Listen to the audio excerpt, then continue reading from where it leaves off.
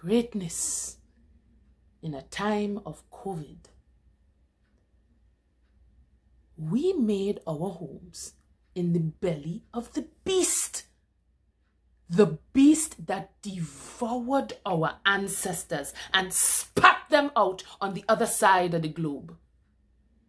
That stole our gold and rubber, our skills and knowledge, our art and music, our history.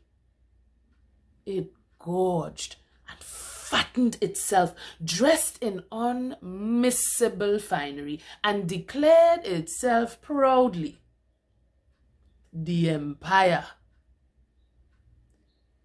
It saw its greatness in our puzzled eyes as we stared up the barrel of a gun from every corner of the earth. Its guns were needed still, we were told, to protect us from the socialist and communist capitalism, our enslaver for centuries, would liberate us one day. It bought our rulers and continued the quiet theft of our humanity and our dignity as it planted poison and bombs where once there was rice and diamonds.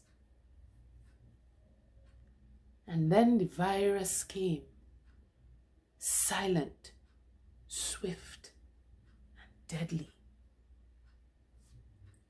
We answered the call to the front line to confront this invisible enemy, we asked simply for gloves, masks, visors, and gongs. As we fell one by one, we finally began to see that what the gentle ones had been whispering loudly had been true all along.